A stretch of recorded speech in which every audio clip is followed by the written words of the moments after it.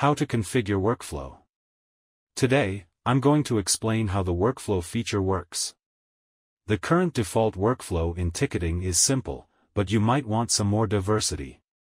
We have a new workflow feature that can help add diversity to your workflow by allowing you to create, rename, and delete statuses and transitions. Alex wants to create an approval status for the tickets. Click on the settings at the top right of the ticketing app's initial page. Then, navigate to Workflow, Beta. This is the workflow feature and it's currently using the default settings. Now, let's create a new status, Approved.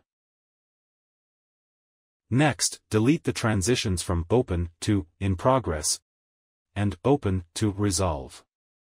Now, create new transitions from Open to Approved.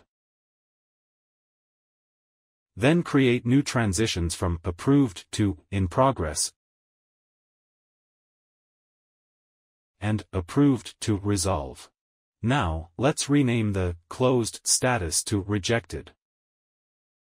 And rename the transitions as well. Don't forget to click Apply Workflow once finished and you're all set. The next time a ticket is created, instead of the usual default options, you will now have the choices to approve or reject the ticket. That's all for today's demonstration on how to create a new workflow. We hope this video helps you find more diversity in your ticketing experience.